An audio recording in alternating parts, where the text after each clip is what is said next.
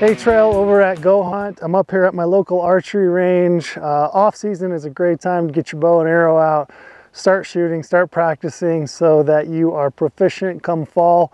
Uh, I've got four tips or four drills for you to think about uh, that I think are going to really help you improve, become more accurate so that you're that much more effective in 2022.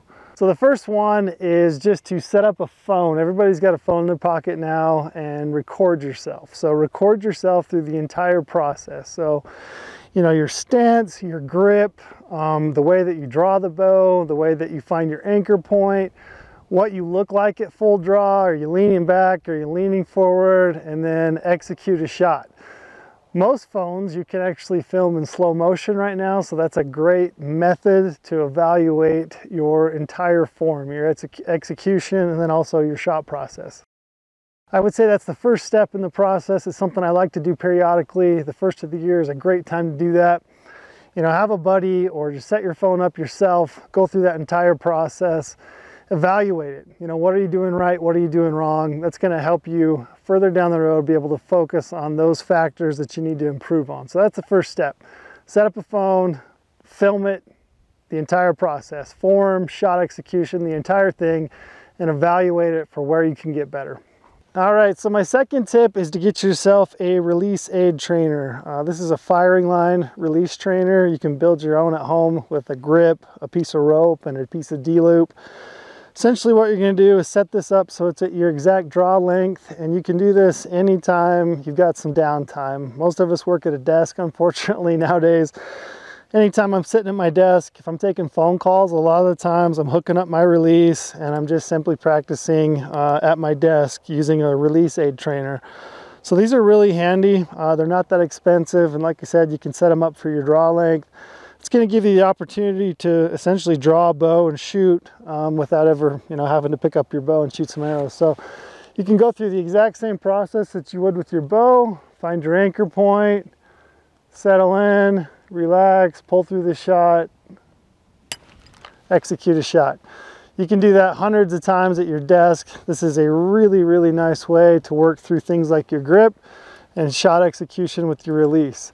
Uh, I would say your release hand is really a critical key point to accuracy. You want to make sure you do it every single time and the best way to do that is reinforce good habits by using a shot aid trainer in your downtime. All right, so my third tip is blank bale shooting. Uh, this is a form of practice that I utilize all the time. It's great for this time of year because you can do it indoors. But essentially what blank bale shooting is, is shooting at a blank bale with no target face. You want to do it at a close distance, so maybe five to six feet so that you make sure that you're going to impact the target every time and not send an arrow through you know, your wall in your basement, which I've done. Essentially, the point of blank bale shooting is to not focus on aiming. You don't want to focus on the end point. You don't want to focus on impact. You don't want to have to worry about that. Rather, your focus should be on your form and your shot execution. So you want a blank bale shoot to reinforce good habits. So things like drawing your bow properly, finding your anchor point, you know, focusing on the little things that matter, like, you know, your hand, keeping it nice and flat, um, you know, pulling through the shot, remaining relaxed through your grip, uh, allowing your bow arm to, to have a natural follow through, letting that bow kind of fall forward and jump in your hand. Essentially what you want to do is establish uh, what a good shot feels like and then replicate that over and over again without having to worry about aiming. Blank baling is an excellent way to practice. I typically try to start my practice sessions with maybe 10 arrows, blank bale, close distance, not worrying at all about impact point and just thinking about good shot execution. I also like to close out practice sessions with maybe five to 10 arrows of blank baling again. You just want to reinforce good habits. So build good habits, reinforce them with blank bale shooting. All right, my fourth tip is a, developing a practice routine or a session. Um, some days I like to shoot, just go out and shoot arrows. Um, but one thing I do think you ought to do is establish some sort of scoring system. So maybe three times a week, establish uh, a score or a game that you play with yourself and that you can actually measure it. And then that way you can track it over time. Uh, it doesn't have to be, you know, really formal, um, but what you do need to do is establish some sort of scoring system. So for me, I've got a local range where I live. I've got a 14 target course. You know, I can shoot three arrows per end, shoot all 14 targets and keep score. And you can make up your own scoring system. Maybe the X and the, the middle ring is an 11, you know, maybe it's a 10. Whatever it is, you make up your own scoring system take a notebook with you, keep track of your score, document that, you know, and do it a few times a week. Um, in order to get better, you've got to develop good habits, you have to shoot for score, and you have to be able to track that over time to know if you're actually improving. So many people just go out and shoot arrows, and it's not that there's anything wrong with that, it's that you're probably not going to get a whole lot better because there's no scoring system. You're not, you're not shooting for any reason or purpose. Anytime you put a game or create a scoring system, naturally your inclination is to try to shoot better. You're more focused. You know, every shot counts because you're tracking that over time.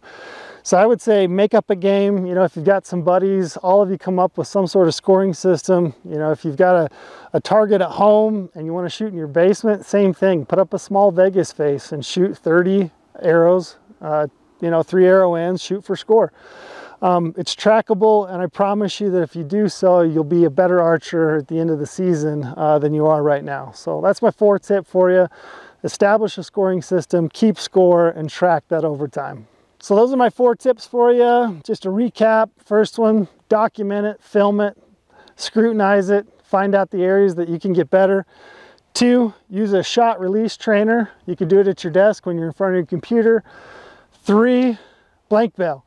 You should be blank baling before every practice session. And four, shoot for score. Make a game, shoot for score, track it over time. I promise you'll be that much better uh, when it comes to the fall.